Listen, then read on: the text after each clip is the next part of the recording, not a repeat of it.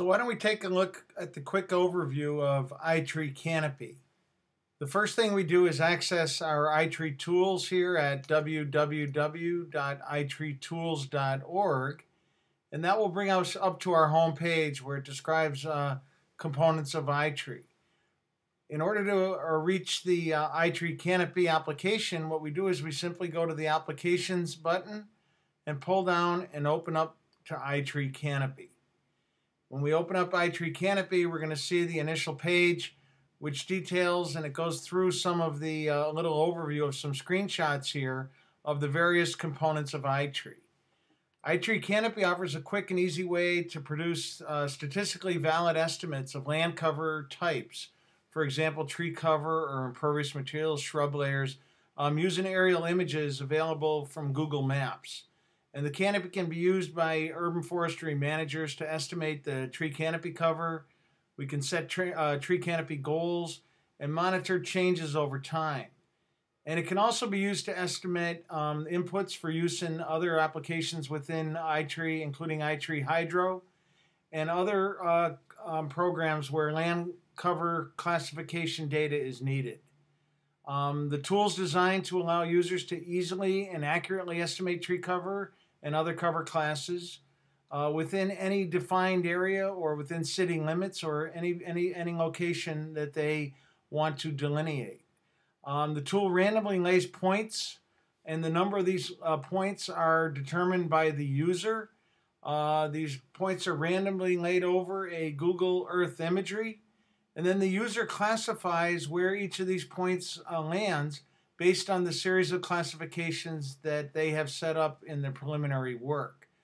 Um, and what the idea is that you interpret from point to point to point whether you have uh, you know trees or impervious material, shrub layer, grass layer, uh, paving, all these various components. And the point of it is in the analysis, you set the analysis up to work uh, the way that best fits your needs. So the first thing you do is you delineate your uh, study area, and many times that's a geographical area. In most cases, we're looking at city or town, so you have the municipal boundaries. So we uh, either import that data from a GIS shapefile or we create our own using the Google imagery. And once we've defined our study area, then we go ahead and we define our cover class areas or the cover classifications that we intend to use for our study whether that be trees or grass or buildings, uh, non tree areas, and others. And it defaults to have tree and non tree, but we can put in as many variables as we want for the classifications. And then the third step is just to start classifying the point locations in the randomly selected locations that are picked by the uh, iTree Canopy software using the Google Earth and Google Maps imagery.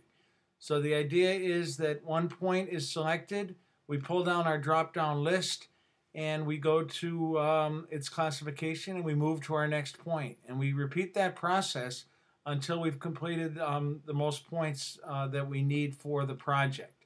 Um, the more points that are interpreted, the more accurate the estimate.